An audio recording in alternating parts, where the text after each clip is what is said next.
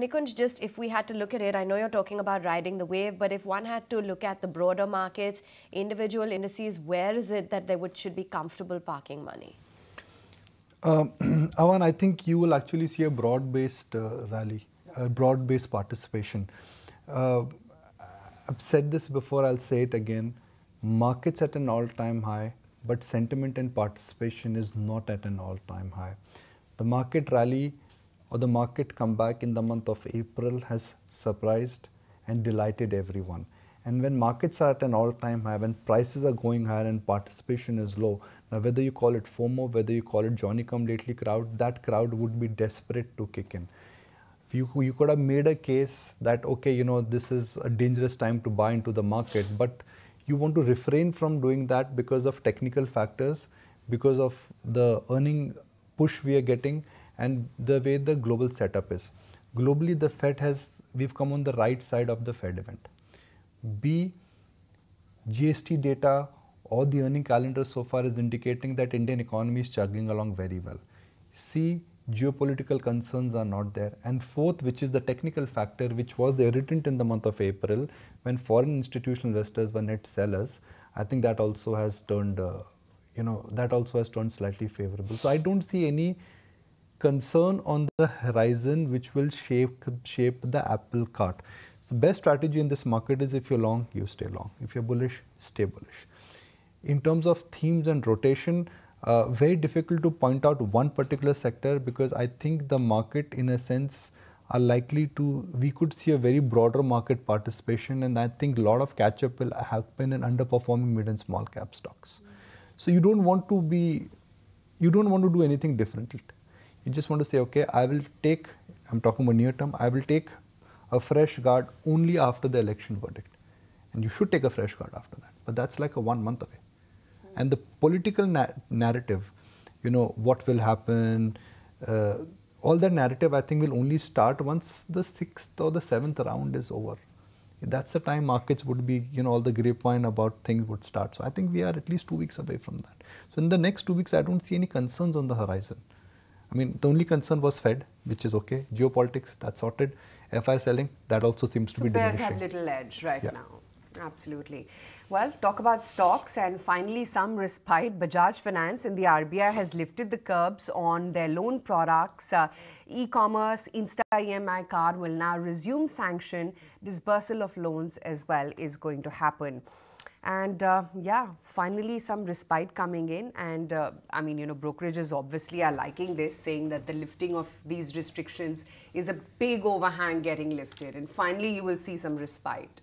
So you could take the clock back. I think the news of this RBI, um, you know, assessment or RBI ban actually came in middle of November. And it's just been six months and Bajaj Finance has been able to uh, fulfill all the regulatory requirements. And for me, that is quick. And for me, that is encouraging, which means that uh, they were able to convince Reserve Bank of India and the ban is removed now. So that clearly means that they've been able to fix their house and they've done it very swiftly.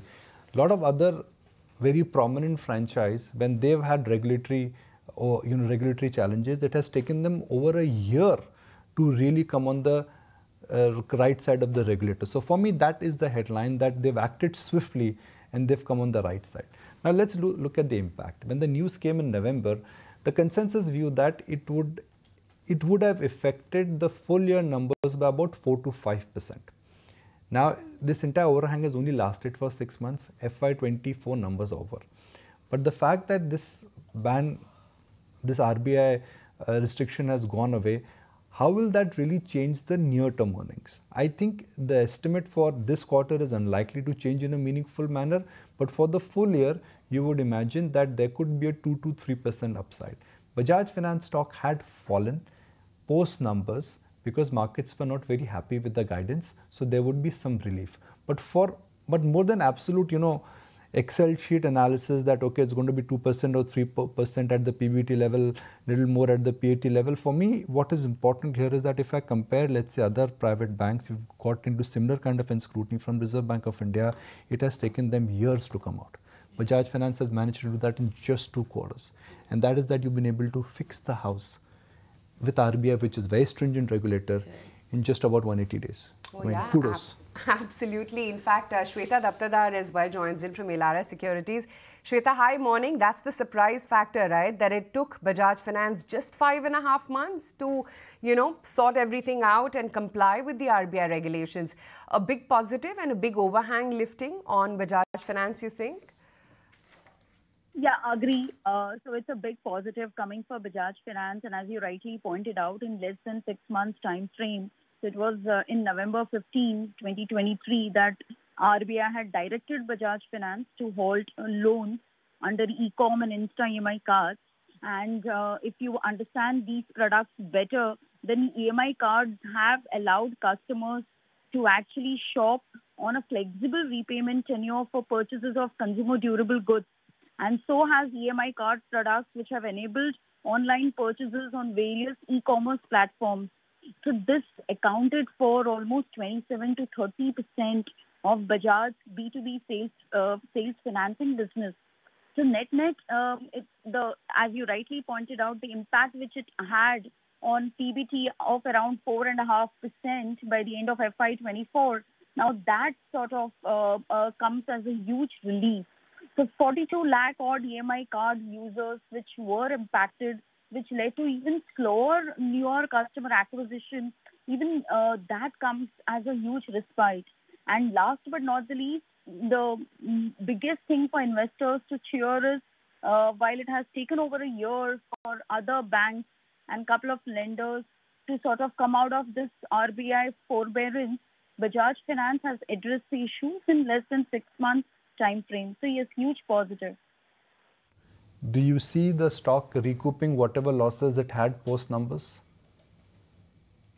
So definitely yes, as a positive sentiment on the stock valuation. Um, but apparently there are few other things which uh, the market will also sort of keenly monitor. One is the smooth transitioning of the management, which is underway. Second, the growth trajectory. So while the uh, lifting of regulatory embargo will definitely give a leg up to the EMI card and digital loans, the management guidance has apparently been trimmed over apprehensions in the rural and consumer financing across both urban as well as rural portfolios. So that will be closely monitored. Nonetheless, the growth for Q4 or FY24 was largely led by mortgages and wholesale lending alongside SMEs. So growth is one which uh, definitely will be watched out for and the management transition that investors are keenly watching. Thanks very much, Soni, for highlighting. Uh, uh, sorry, thanks for, very much uh, for uh, taking time out, Shweta, and highlighting those details as to what the implications are for Bajaj Finance.